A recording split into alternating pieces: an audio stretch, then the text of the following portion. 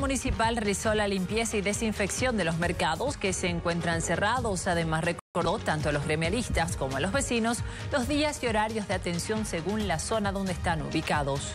Se les comunica a los comerciantes, por favor, que deben de cerrar sus puestos porque se va a proceder a fumigar.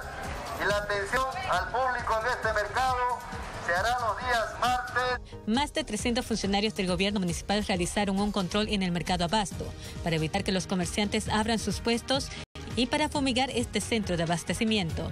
Vamos a hacer punto fijo, ese es el trabajo de la, de la Guardia Municipal, la Secretaría Municipal de Seguridad Ciudadana hoy día, es hacer punto fijo o no centro de abastecimiento que no les toca abrir para que no abran porque estamos limpiando y estamos desinfectando. La alcaldía recordó tanto a los gremialistas como a los vecinos que los días de atención de los mercados de la zona sur es martes, jueves y sábado y en la zona norte lunes, miércoles y viernes, ambas zonas de 8 de la mañana a mediodía. Tienen que entender que estamos peleando juntos, gremialistas, transportistas, empresarios, estudiantes, padre y madre de familia, contra un asesino silencioso que se llama coronavirus. Estamos desinfectando los días que no trabajen los del mercado, en este caso los del sur, por ejemplo, se desinfectan toditos.